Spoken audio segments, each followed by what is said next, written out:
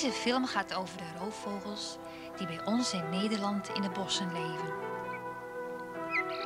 We zien allemaal wel eens een reen in het bos of een konijn.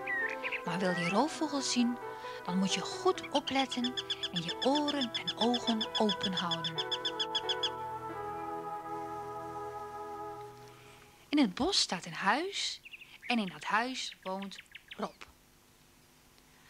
Rob doet onderzoek naar roofvogels en hij weet er ondertussen al heel veel van. Elk voorjaar gaat hij op pad om de nesten te controleren. De nesten van de havik en de buizerd zitten erg hoog, soms wel 20 meter boven in de boom. Om het klimmen makkelijker en minder gevaarlijk te maken, gebruikt hij speciale klimijzers. Aan die klimijzers zitten hele scherpe punten, waardoor hij meer houvast in de boom krijgt.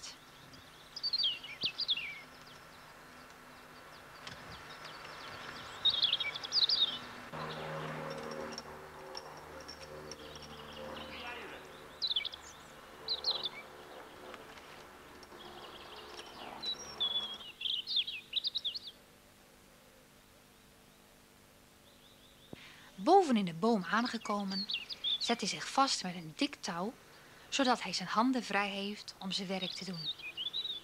Zoals het wegen en meten en ringen van jonge roofvogels. Of het opmeten van de eieren. 45 punt. Op zijn eerste ronde vindt hij alleen nog maar eieren. De witte van de havik en de gevlekte van de buizerd. Hey, goeiemorgen. Wat krijgen we nou? Het is nog maar net mei. En daar zit zowaar al een jonkie buizerd in zijn nest. De allereerste van het jaar. Zijn broertje of zusje zit nog in het ei. Tussen het uitkomen van de eieren zit ongeveer twee dagen. Dus wanneer een buizerd drie eieren heeft, komt het jongste uit op de dag dat de oudste al vier dagen is.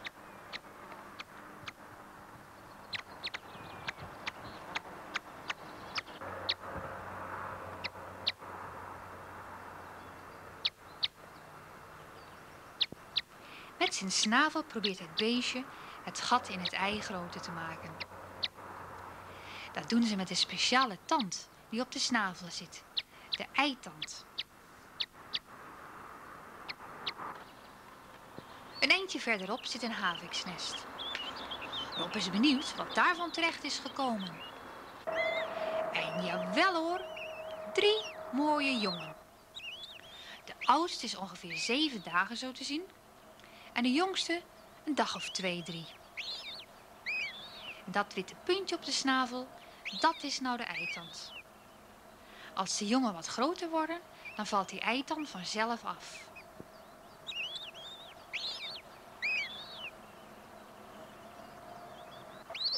In het nest hebben de oude vogels verse takken en bladeren gelegd en op de nestrand ligt allemaal dons. Als je op de grond onder het nest staat, kun je aan het dons zien of een nest bewoond is. Als er op een dag of tien later weer eens gaat kijken, zijn de havikjes flink gegroeid. Dat wil zeggen de twee oudste.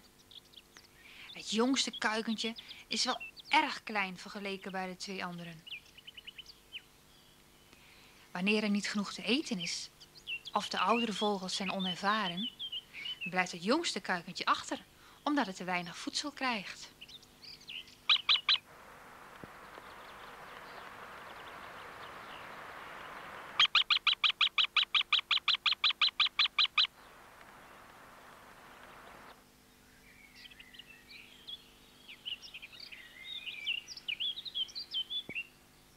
Bij dit buizersnest zien we precies hetzelfde. Twee flink uit de kluiten gewassen jongen en een klein ondervoeds zielepietje. Dat komt omdat bij roofvogels het sterkste jong het eerste eten krijgt. Dan komt de ene sterkste aan de beurt en als laatste het kleinste jong. Als het eten voor die tijd op is, krijgt het helemaal niets. Het kleintje groeit dan niet voldoende, verzwakt en gaat dood en wordt opgevoerd als zijn broertjes en zusjes. Het nest ziet er mooi schoon uit, omdat jonge roofvogels al heel vroeg zindelijk zijn.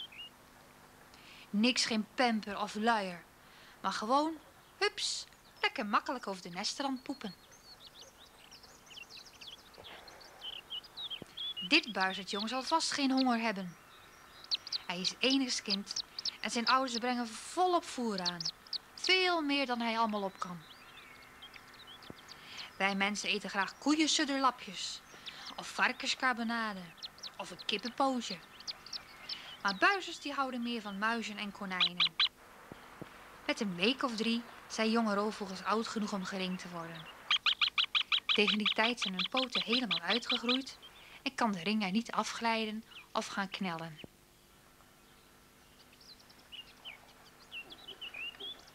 We hebben Rob gevraagd of we eens met hem mee mochten. Wij wilden ook wel eens jonge roofvogels van dichtbij zien. Hij moest lang nadenken, maar toen mocht het. Vooruit dan maar, maar niet allemaal tegelijk.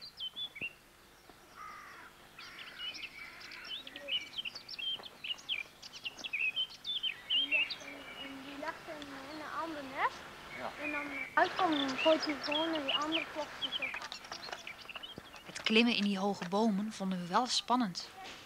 Maar vooral om naar te kijken en niet om zelf te doen.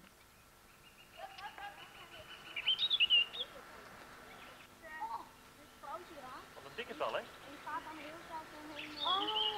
In de rugzak worden de jonge buizen naar beneden gehaald. Oh, deze is op de tv. Zijn er Oh, wat lief.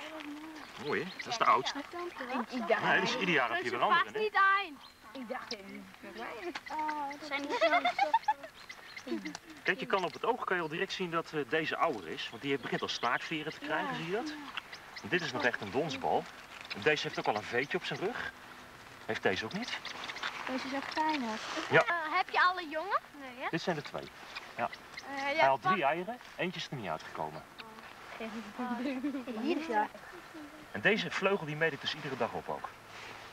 De lengte daarvan, vanaf hier tot daar. En iedere dag komt er weer 6, 7 mm bij. Alle jonge roofvogels die Rob onderzoekt, krijgen een mooie ring om. Op elke ring staat een ander nummer.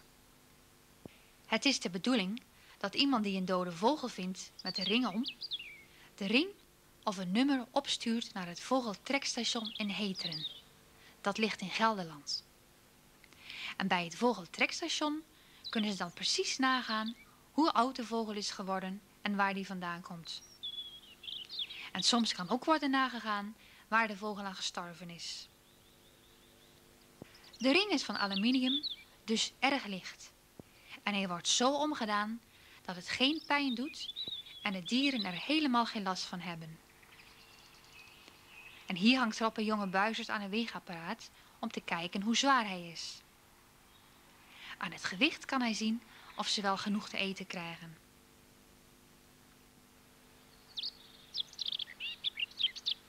En deze kokertjes zijn de zogenaamde bloedspoelen. Hierin groeien de vleugels elke dag een klein stukje tot ze helemaal zijn uitgegroeid. Dit keer is het nest met de jonge haviken aan de beurt. Haviken zijn de baas in het bos. Ze zijn de grootste en sterkste roofvogels van Nederland en ze hebben machtig grote poten. Vooral de vrouwtjes, want die zijn veel groter dan de mannetjes. Maar kijk, wat een grote klauw, hè? Ja, jij mag. Vrouwtjes zijn zeker veel actiever. Nee, mannetje. Ik hoor die moeder ook niet meer. De mannetjes die zijn kleiner, die zijn ook veel sneller, wendbaarder. Zie je ook die een heel andere kleur oog heeft dan die buis? Die buis heeft echt een bruin oog. Deze meer een ja, Is, nog een beetje- is deze nog een beetje wit of nog even. Op naar het volgende nest.